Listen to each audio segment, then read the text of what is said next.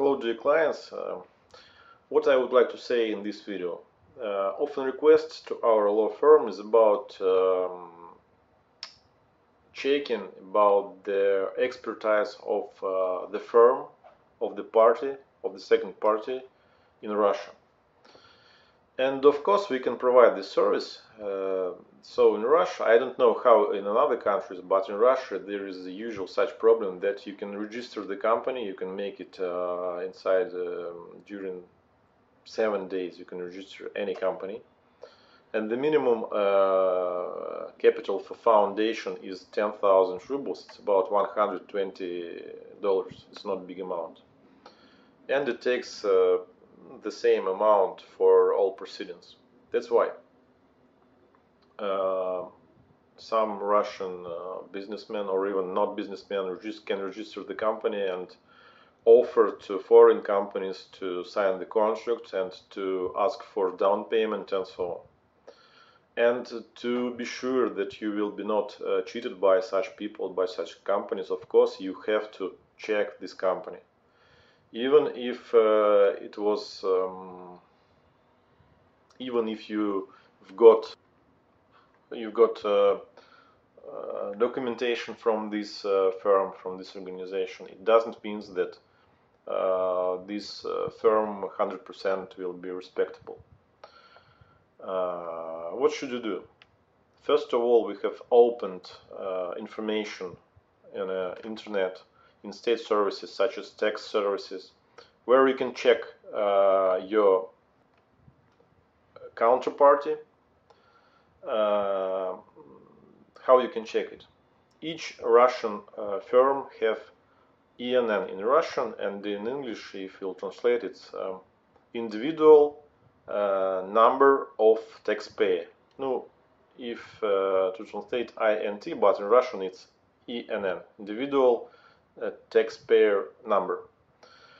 And according to this number, you can, you can check Russian firm and you can see a statistic of this firm. If we see that this firm was, uh, was founded, for example, this year or previous year, and there is no any uh, income uh, statement, um, uh, and there is no information about uh, big deals, or at another way, uh, at another party, it can be even information about debts, debts which were getted by the court which were established by the court. Then, of course, this firm is not uh, is not good. Of course, this with such firm you should not work because you will send down payment, you will have proofs about this transferring of money, but uh, you can just file a statement about to a court about the collecting this money back.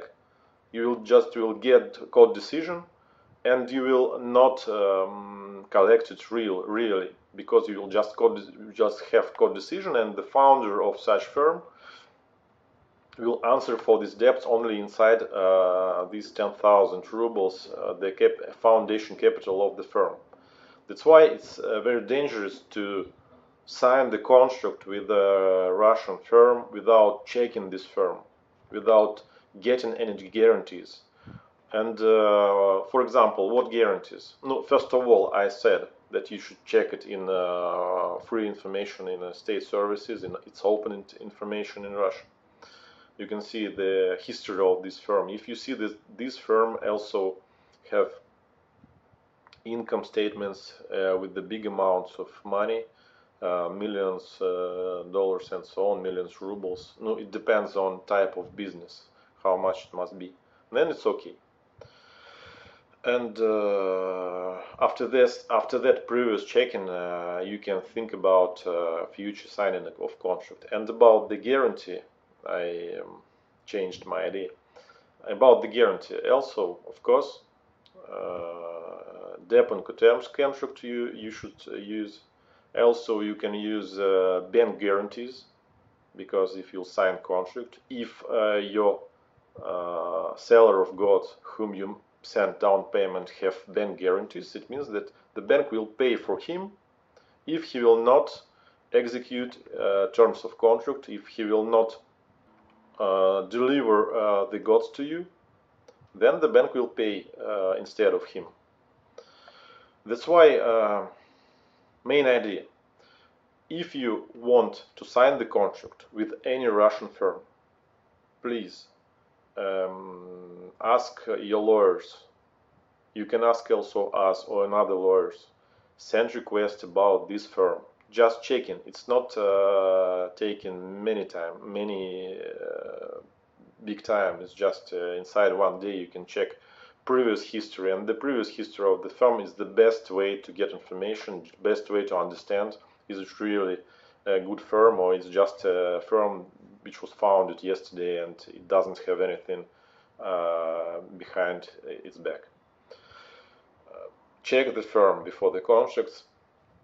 I wish you the best. I wish you success in your business. And if you have uh, such problems or another problems in other tasks, you can also uh, send us request. We can provide legal services not only in Moscow but but also in St. Petersburg, in Siberia, Novosibirsk, Barnaul, Yekaterinburg, and Vladivostok, and so on. And we have experience with the working of uh, uh, providing legal services and contracts with uh, China, with Australia, and with other countries. Please contact with us. We'll be happy to help you. See you in our office. Bye.